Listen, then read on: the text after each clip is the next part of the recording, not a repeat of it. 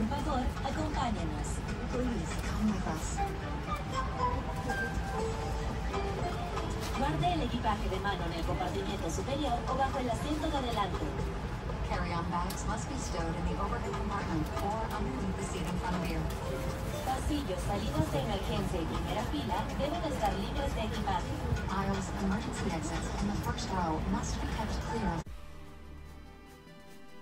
Con el avance del proceso de vacunación de COVID-19, muchos países en todo el mundo están relajando las restricciones COVID para sus ciudadanos y para los viajes internacionales y de esa manera poder activar su economía, como es el caso de Australia, Holanda, Reino Unido, Portugal, Alemania, Austria, Bélgica, Bulgaria, Chipre, Croacia, Dinamarca, Eslovenia, Grecia, etc. ¿Y por qué España aún no levanta las restricciones COVID para los viajes internacionales? ¿Cuándo dejarán de exigir el certificado de vacunación o pruebas diagnósticas? Aún es pronto y no lo podemos confirmar.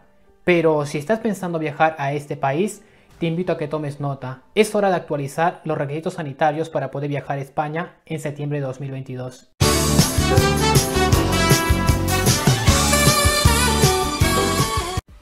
España es uno de los destinos top de los turistas internacionales, principalmente de los latinoamericanos.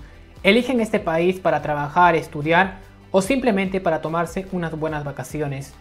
Para poder viajar a la madre patria, los turistas deben de presentar alguno de estos requisitos. El certificado de vacunación, test de antígenos realizado 24 horas antes del viaje, una prueba PCR negativa realizada 72 horas antes de la llegada a España o el certificado de recuperación. Cualquiera de estos cuatro requisitos son válidas para poder viajar a este país. Tengo que precisar de que si presentas su certificado de vacunación de COVID-19, tus vacunas deben estar aprobadas por la OMS o la Agencia Europea del Medicamento. Si han pasado 270 días desde que te administraron la segunda dosis o la monodosis de Janssen, en ese caso sí necesitarías la dosis de refuerzo. En el caso de las personas que les hayan administrado vacunas no aprobadas, también podéis viajar a España, pero necesitarías una dosis de refuerzo de una vacuna aprobada por la OMS o la Agencia Europea del Medicamento. Hasta hace unas semanas atrás se seguía exigiendo el certificado de vacunación de COVID-19 para poder entrar a este país, pero esto ha cambiado ya que al tener los datos actualizados de tus vacunas, ya no es obligatorio presentar el certificado de vacunación. En tal caso tenéis que presentar solo tu formulario de control sanitario. Verás, ese requisito se está exigiendo desde el inicio de la pandemia. Es muy fácil de completar. Tenéis que proporcionar datos personales, datos de tu vuelo, de tus vacunas. Además, si tenéis un vuelo en tránsito, selecciona la opción de vuelo en tránsito. Asimismo, debes de facilitar los datos de tu vuelo de conexión a España. Solo así el sistema te permitirá descargar tu código QR. Es importante que los datos proporcionados estén correctos.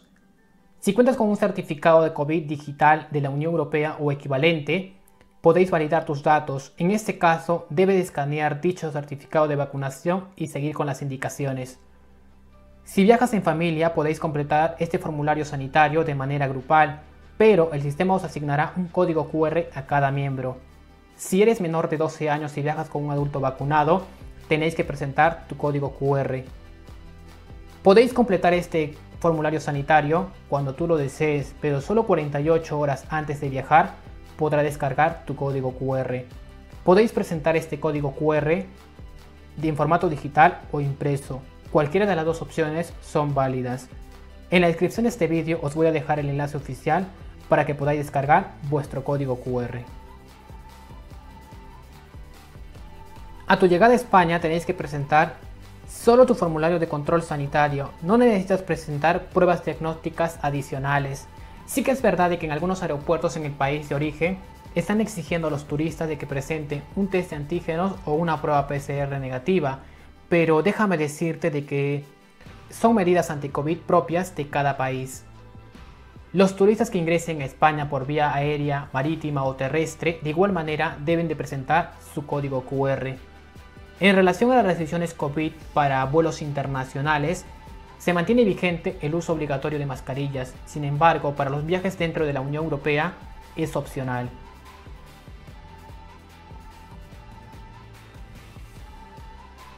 No obstante, los turistas de los países miembros de la Unión Europea que deseen viajar a España no necesitan presentar requisitos sanitarios, excepto los turistas procedentes de Reino Unido e Irlanda, que deberán presentar su certificado de vacunación, test de antígenos, prueba PCR negativa o el certificado de recuperación.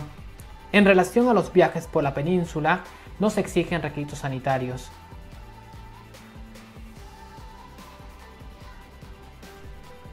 Si tenéis un vuelo en conexión en un país miembro de la Unión Europea, no te van a exigir el código QR y a tu llegada a España, de igual manera, no tenéis que presentar tu formulario de control sanitario ni tenéis que volver a pasar migración.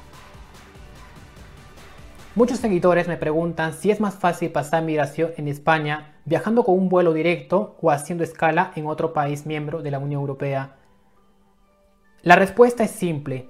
Sí, es más fácil pasar migración en otro país europeo, pero debes de tener en cuenta de que el país europeo que tengas un vuelo en conexión sea un país en donde el control migratorio no sea tan estricto como es el caso de Holanda, Alemania o Francia, por decir algo, porque si no reúnes con determinados requisitos, no te dejarán continuar tu viaje.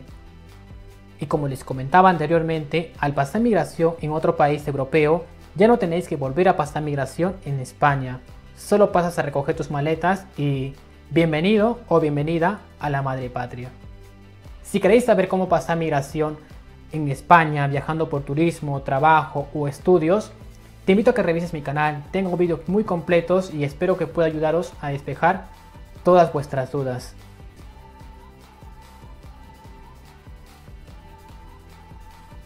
Si estáis pensando realizar un Eurotrip, os recomiendo que presenten su itinerario de viaje. De esa manera van a asegurar al oficial de migración de que viaja solo por turismo. Deciros de que las vacunas anti-COVID más aceptadas en Europa son Pfizer, Moderna, AstraZeneca y Janssen. Son las mismas aprobadas por la Agencia Europea del Medicamento.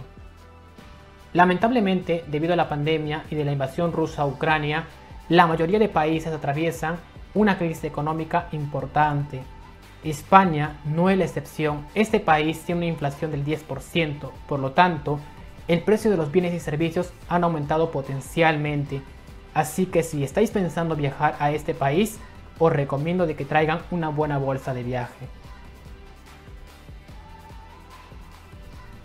En España, el uso de la mascarilla en interiores sigue siendo obligatorio en farmacias, transporte público y residencias. Se está especulando de que España está exigiendo a los turistas la cuarta dosis de la vacuna contra el COVID para poder entrar a su territorio. Es totalmente falso y te explico por qué.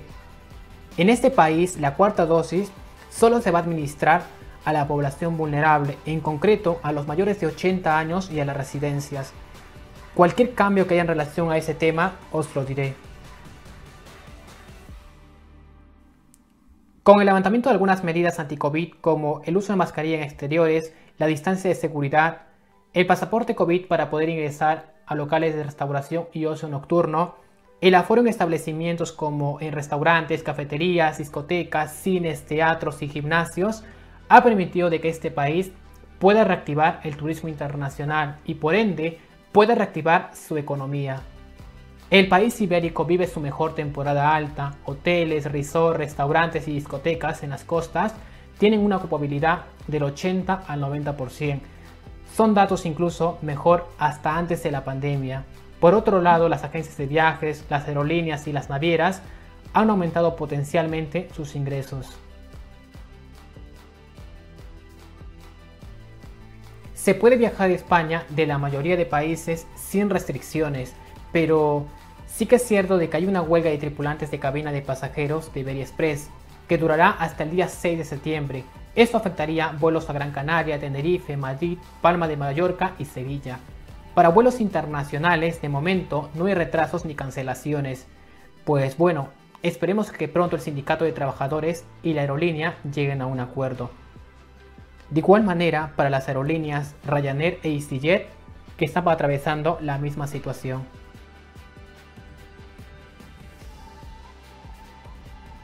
Pues bien, esos serían los requisitos sanitarios para poder viajar a España. Sí que es verdad de que en este vídeo no he hablado sobre los ritos migratorios, pero déjame decirte de que son los mismos.